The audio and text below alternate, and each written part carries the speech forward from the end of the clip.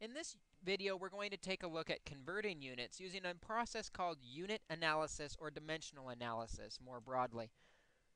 To do this, I want to set it up with the multiplication problem 57 inches over 1 times 1 foot over 12 inches. Now, I don't want to worry about the setup right here, but I do want to notice that when we're multiplying rational expressions, we can divide out factors that are in common in both the numerator and denominator. Notice we have inches in both the numerator and denominator.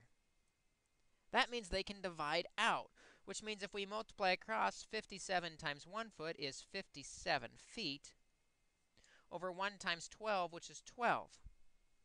And then we could divide 57 by 12, probably using a calculator. We get 4.75, and we still have the units of feet on there. What's important to note is that the units are able to divide out just like anything else when multiplying rational expressions. This means we can divide out units by placing them in the opposite part of the fraction. We'll do this to set up what's called a conversion factor. Now, a conversion factor is the same amount in both the numerator and denominator, but we use different units. In the example we saw above, 1 foot and 12 inches are the same amount, they're the same distance, but they use different units. This process of dimensional analysis says we will convert by multiplying by a conversion factor. Same amount, different units, to convert units. So if we're asked to convert 3.8 kilometers into miles, we've got 3.8 kilometers. We'll make it into a fraction real quick by putting it over 1. And then we'll set up what's called a conversion factor. Same amount in the numerator and denominator with different units. Now, we don't want kilometers, we want miles. So divide to divide out the kilometers, we will place them in the opposite part. They're in the numerator, we're going to put them in the denominator, and we're going to change them into miles. Now, with a little research, you can find out that 1 mile is equal to 1.61 kilometers. I'm going to tell you that conversion factor. You'll either use a conversion sheet or some other reference point that might be given to you to make that conversion factor as you work through your problems. What's important to note, though, is now the kilometers divide out, and I'm left with only the miles that I want.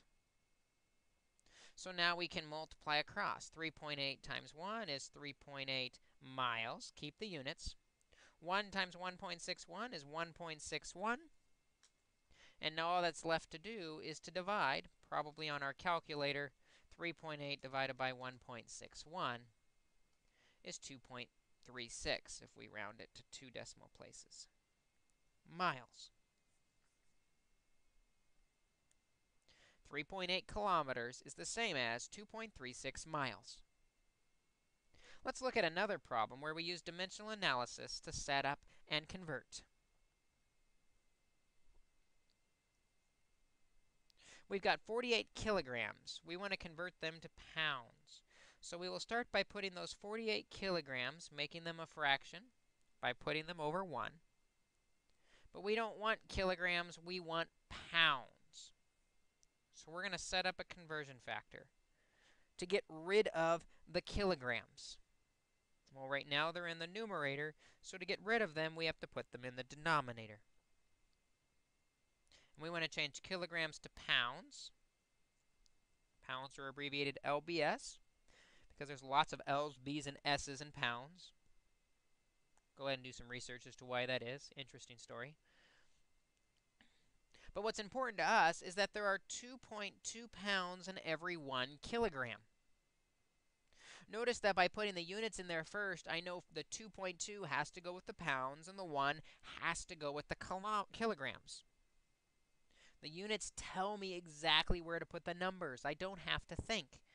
I just want the kilograms to divide out, leaving the pounds that I want. So when we multiply across 48 times 2.2 is 105.6 pounds.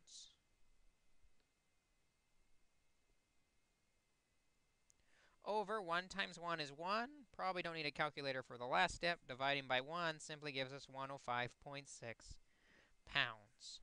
Is the same as 48 kilograms. So to set to convert units, we simply need to set up a conversion factor, knowing which units we want to divide out, and what's the relationship between the units we're using. Be sure to clearly show your work so it can be easily followed using this unit analysis or dimensional analysis process.